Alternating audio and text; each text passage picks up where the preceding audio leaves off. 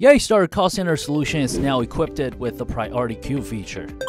With this feature, we can scientifically plan our distribution mechanism for the call center by granting different levels of priority for every queue.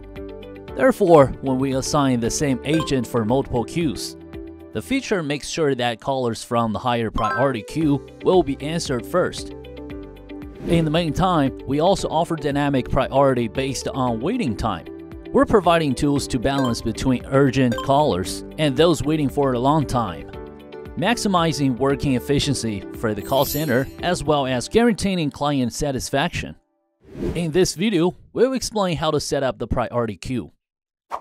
First of all, please upgrade the P-Series system to the latest version. Then we log into the admin interface. Go to Call Features. Here we find Queue. Then we click into the queue we want to set up.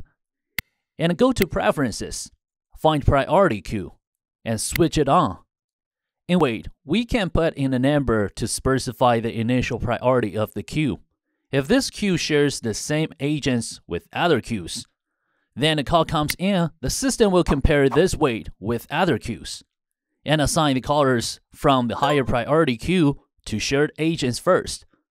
Of course, if there are dedicated agents available, then the queue priority will not take effect and costs will be distributed directly. With the weight, we can define the initial priority of the queue, but we do not want the callers in the lower priority queue to wait for too long so we can go on to enable acceleration weight. Here we can define a waiting time. For example, we set 30 here.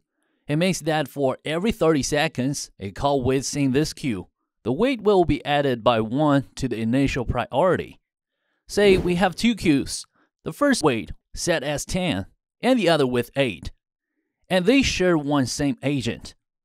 When there's a call waiting in each queue, the call from QA will be sent to the agent as it has higher initial priority, but as the call from QB waits. Its priority gets to be added by 1 every 30 seconds.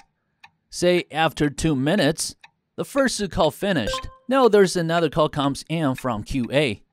The call from QA comes with a priority weight of 10, but the call from QB now has 8 initial weights, plus 1 weight for each 30 second waiting time. It means this call now comes with the new weight of 8 plus 4 equals 12, which is higher. So the call from QB will be sent to the agent first. Despite this example, we can surely define a shorter or longer waiting time in the acceleration weight according to our call center. Alright, so that was how we set up a priority queue for our call center.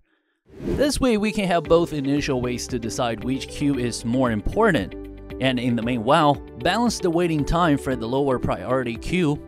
This way we can make full advantage of limited resources of our call center and ensure service quality.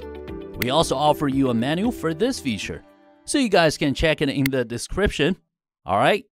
So that was all we have for this one. Hope you guys like it. Same as usual. You're very welcome to apply for the free trial. Alright, and I will catch you guys in the next one.